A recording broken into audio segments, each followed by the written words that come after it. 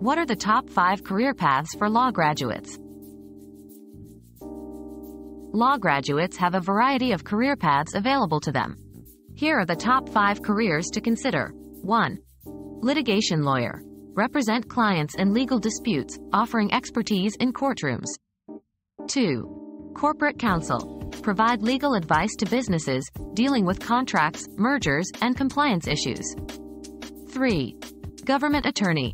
Work in various government agencies, handling legal matters from policymaking to law enforcement. 4. Nonprofit sector lawyer.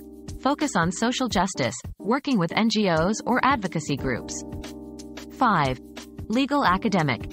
Enter academia, teaching law and conducting research.